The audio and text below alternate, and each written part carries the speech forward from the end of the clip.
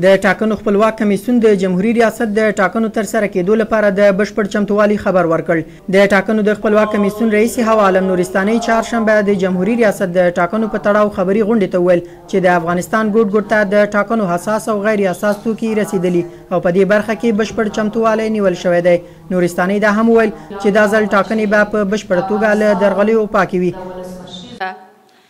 په ولایتونو کې استخدام، په څلور دېرش ولایتونو کې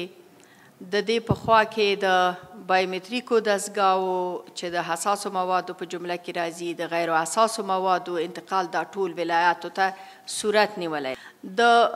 ټاکنو خپلواک کمیسیون د افغانستان درون ملت ته په ډاډ سره وایي چې د دې و کمیسیون د ولسمشریزو ټاکنو لپاره پوره امادګي لري، هر هغه څه چې زموږ له خوا کېدل هغه مو ټول سر ته رسولي، که څه. نوموړي یو ځل بیا د ټاکنو د امنیت په اړه اندېښنه څرګنده کړه او په دې برخه کې د امنیتي مسؤلینو د بشپړ همکارۍ غوښتنه وکړه. پایلې خو به همغه د قانون مطابق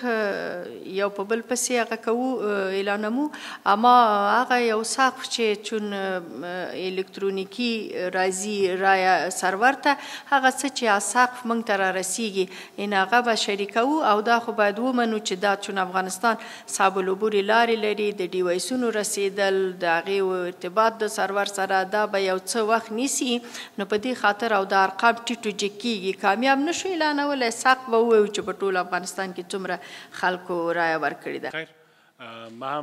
بلخوا د کورنیو چارو وزارت ستر امنیتي معین خوشحال سادات د جمهوري ریاست د ټاکنو په تړاو د بشپړ امنیتي تدابیرو خبر ورکړ او وایي چې امنیتي ځواکونه د ټاکنو لپاره له طالبانو ډیر شمیر ولسوالۍ ونیولې. ارزیابی تهدیدات به سه کتگوری شده بلند متوسط و پایین ای چی معنا داره ای معنای ازیره نداره که مراکز صد فیصد بسته می باشه به اساس راپورای کشفی و اپراتیفی مراکز سطح بالا به ای معنی است که امکانات فعالیت های دشمن در مو ساحه می باشه این معنی زیر نمیده که مرکز بسته است ما برای مو تهدیدات بالا تدابیر بیشتر را گرفتیم نیروهای امنیتی بیشتر رو استخدام کردیم و حمایه هوایی و همچنان فعالیت های خود رو تجدید دادیم به معنی از این نیست که دوستان ما نمیتونه د افغانستان د کورنیو چارو وزارت وایي په څلور دیش ولایتونو کې د انتخاباتو د امنیت لپاره ټاکل شوي امنیتي ځواکونه د رای ورکولو په مرکزونو کې ځای پر ځای کړي دي د کورنیو چارو وزارت د معلوماتو په اساس د انتخاباتو د امنیت لپاره دوه اویا زره امنیتي ځواکونه ګمارل شوي او اته ویشت زره نور ځواکونه تیار سوي دي چې د ضرورت پر مهال ترې کار اخیستل کیږي. ټاکل شوې چې د جمهوري ریاست ټاکنې د تلې میاشتې پر شپږمه نېټه ترسره شي.